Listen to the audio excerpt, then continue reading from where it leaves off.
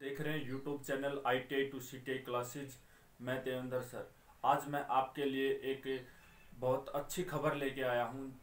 जिन बच्चों की आई टी आई कंप्लीट हो चुकी है, उनके लिए वैकेंसी निकली है। इंडियन स्पेस रिसर्च ऑर्गेनाइजेशन में, यानी कि इसरो में।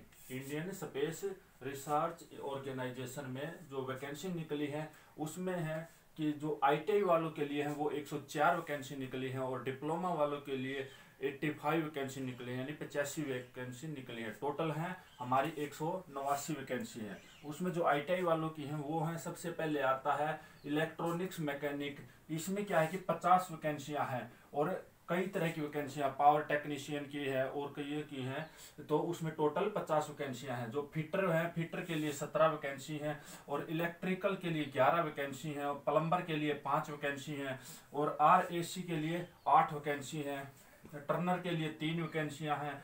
मशीनिस्ट ग्राइंडर के लिए तीन वैकेंसी हैं। मोटर व्हीकल मैकेनिकल के लिए एक वैकेंसी है और मशीनिस्ट के लिए एक वैकेंसी है। ठीक है? इलेक्ट्रोप्लेटिंग के लिए एक वैकेंसी है। वेल्डर के लिए एक वैकेंसी है और ड्राफ्टमैन मैकेनिक के, के लिए तीन वैकेंसियाँ जो कि टोटल वैकेंसियाँ हैं वो 104 हैं जो आईटीआई वालों के लिए हैं और एक सौ नवासी पोस्ट निकली हुई है। उसमें से पचासी पोस्ट हैं डिप्लोमा वालों के लिए। ठीक है इसमें जो उम्र है भरने की वो 18 से 35 वर्ष मांग रखी है जो आईटीआई वाले बच्चे हैं उनके लिए। और भरने की डेट 17 दो 2020 से लेके जो कि अभी भरे जाने लग रहे हैं ये 6 तीन 2020 तक फार्म भरे जाएँगे।